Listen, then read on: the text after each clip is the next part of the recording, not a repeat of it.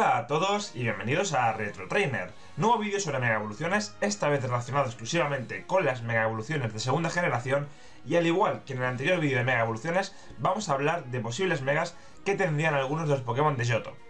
Estas ideas son mías y para nada tienen por qué ser así en futuros juegos, aunque personalmente opino que son increíbles, así que sin más demora, vayamos con el primero de esta lista.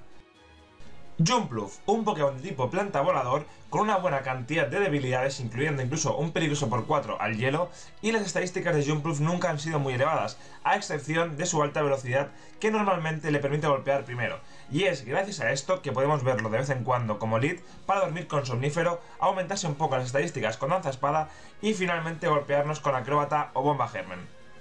Sus habilidades no están nada mal, pero sin embargo necesita una mega evolución urgentemente y es por esto que aquí tenéis a Mega Jumpluff. Lo que más destaca de él es las debilidades, ya que tiene ni más ni menos que 7, siendo el tipo bicho doblemente eficaz contra él.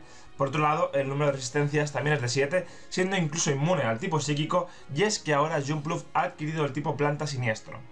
Sus estadísticas han aumentado en más de 100 puntos gracias a la reducción del ataque especial y ahora tenemos un Pokémon todavía más rápido, con unas defensas muy elevadas para resistir y con un ataque más que decente. Y por lo tanto movimientos como síntesis, desarme o golpe bajo ahora tienen cabida en el set de este Pokémon. Su habilidad autoestima le aumentará el ataque cada vez que acabe con un rival, y sumando esto a su alto nivel de velocidad, puede acabar fácilmente con cualquier equipo si aparece en el campo de batalla en el momento oportuno.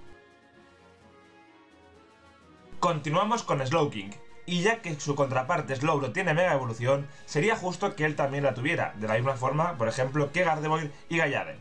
Slowking es inversamente proporcional a Slowbro en cuanto a estadísticas y destaca principalmente por su alto nivel de ataque especial y defensa especial. Su set de movimientos más que decente en conjunto con su habilidad regeneración y la posibilidad de reducir el ataque del rival con escaldar, lo convierten en un Pokémon que ya de por sí es realmente útil competitivamente. Pero como he dicho antes, Slowbro ha centralizado el uso de estos dos Pokémon y es por esto que aquí tenéis a Mega Slowking, que se pone a la altura de Slowbro con esta mega evolución, con las estadísticas de Slowbro en el ataque especial y defensa especial. Lo más destacable de Slowking es la habilidad compensación, que hace que si el Pokémon tiene al máximo su barra de PS, reduce el daño a la mitad. Sumando esto a sus altas defensas, lo cierto es que Slowking se convierte posiblemente en uno de los tanques más invencibles de todo el juego y si bien ahora no dispone de una habilidad que bloquee los críticos, el hecho de tener acceso a relajo hace que pueda estar en el campo durante un tiempo ilimitado. Seguimos con Kingdra, un Pokémon agua dragón, el cual destaca por tener únicamente dos debilidades y unas estadísticas muy compensadas. Precisamente estas estadísticas compensadas son lo que hace que no destaque nada en especial, y por lo tanto, si bien es bastante usado, este Pokémon no extrae al máximo su potencial.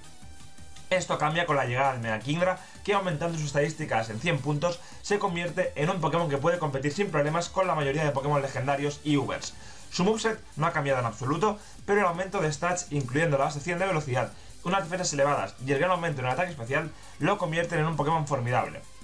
Su habilidad es tenacidad, y como en Pokémon como Wigglytuff o Milotic, esta hará que el ataque especial de este Pokémon aumente en dos niveles cuando el rival no reduzca alguna estadística, por ejemplo con intimidación. Lo cierto es que a los rivales deberán pensar muy bien cuando sacar un Pokémon con dicha habilidad, puesto que si Kingdra aumenta su ataque especial todavía más, puede ser devastador y sentenciar el combate nada más aparecer. Turno de Quagsire, un Pokémon que a mí personalmente me gusta mucho por tener únicamente una debilidad y un montón de resistencias, y es que el tipo agua-tierra le da inmunidad incluso al tipo eléctrico.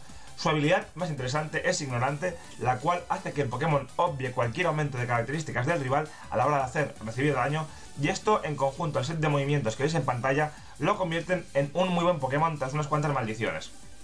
El problema principal de Quagsire es que es complicado sacar el combate porque no destaca mucho estadísticamente. Y como este, personalmente, es un único problema, Mega Quagsire viene a solucionar esto. Y es que es así, este Quagsire no tiene nada más en especial, sigue siendo el mismo que antes, pero con un aumento de estadísticas considerable. Ahora será capaz de aguantar más golpes del rival y acabar sin mayor problema con una gran variedad de oponentes gracias al gran nivel de ataque que posee. Gracias a movimientos como cascada o terremoto, sumando el acceso de recuperación y maldición, lo cierto es que este Pokémon podría ser la pesadilla de los equipos que no tuvieran un Pokémon de tipo planta entre sus filas. Y acabamos este capítulo de Mega Evoluciones con Ursaring, un Pokémon apenas visto en competitivo de tipo normal, lo cual hace que únicamente posea debilidad al tipo lucha y le garantiza inmunidad al tipo fantasma. Gracias a su habilidad agallas o pies rápidos, podemos aumentar el ataque o la velocidad a nuestro antojo. Y cabe destacar que, exceptuando la velocidad, las estadísticas de Ursaring son en general decentes, por no decir que el ataque físico es increíble. De todas formas, el tema de la velocidad es algo que le falla bastante y que hace que peligre con facilidad. Y es por esto que aquí está el que para mí es el mejor Mega de segunda generación, Mega Ursaring, que ahora adquiere el tipo normal psíquico, cambiándose sus debilidades a bicho y siniestro, pero ganando también una resistencia a psíquico, además de su inmunidad a fantasma. Estadísticamente, Mega Ursaring es muy competente y su base de velocidad hace que podamos outspedear a muchísimos Pokémon del juego. Su ataque es devastador, pero lo mejor de todo lo encontramos cuando analizamos su habilidad, potencia bruta. Y es que esta hace que los movimientos que tienen efectos secundarios pierdan este efecto a cambio de aumentar su potencia en un 30%. Esto hace, por ejemplo, que Cabezazo Zen no puede hacer retroceder, pero sea un movimiento mucho más fuerte, de la misma forma que Golpe Cuerpo, que tampoco podría paralizar, pero sería un movimiento por estar muy duro. Lanzamugre, por ejemplo, ya no podría envenenar, los puños perderían sus efectos, pero sin embargo, la gran variedad de movimientos útiles que puede aprender Ursaring en conjunto con esta habilidad lo convierten con esta mega evolución en un Pokémon increíble, el cual parece estar pensado para exprimir al máximo todo el potencial de esta habilidad. Como he dicho antes, personalmente es mi Pokémon favorito de todos los megas de esta generación y que espero que veamos algún día en las próximas entregas de Pokémon. Pues bien, con esto acabamos aquí este vídeo sobre las megas de segunda generación. Si queréis uno nuevo sobre los Pokémon de joven, no dudéis en usar los comentarios para dejar vuestras impresiones y yo me despido ya. Como siempre os digo, like si os gustó este vídeo, suscribiros para más, dale like a si pongo que lo agradecerán y nos vemos en el siguiente. Hasta la próxima.